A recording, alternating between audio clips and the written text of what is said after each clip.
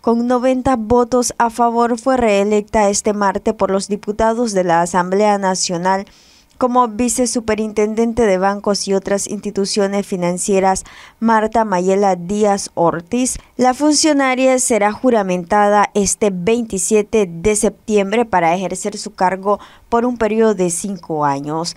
La propuesta es Marta Mayela Díaz Ortiz, es la propuesta del comandante Daniel Ortega Saavedra.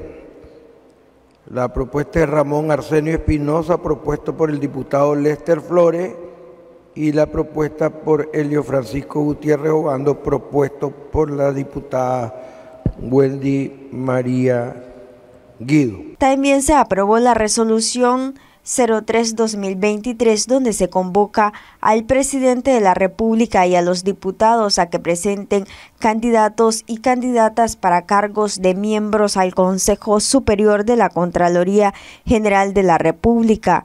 La Comisión Especial Constitucional, presidida por la diputada María Auxiliadora Martínez, se encargará de recibir las propuestas de candidatos convocar al presidente de la República y a los diputados y diputadas de la Asamblea Nacional para que presenten candidatos, candidatas para ser electos como miembros del Consejo Superior de la Contraloría General de la República.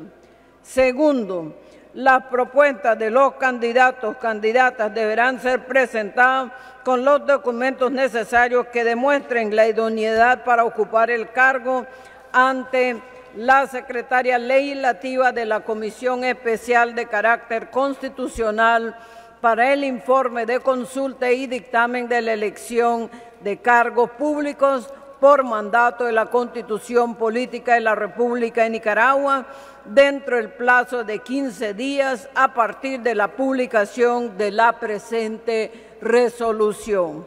Tercero, la presente resolución de convocatoria se publicará en la Gaceta Diario Oficial. Estas propuestas deben presentarse en un periodo de 15 días luego de ser publicada la convocatoria en la Gaceta Diario Oficial. Noticias 12 Darlene Telles.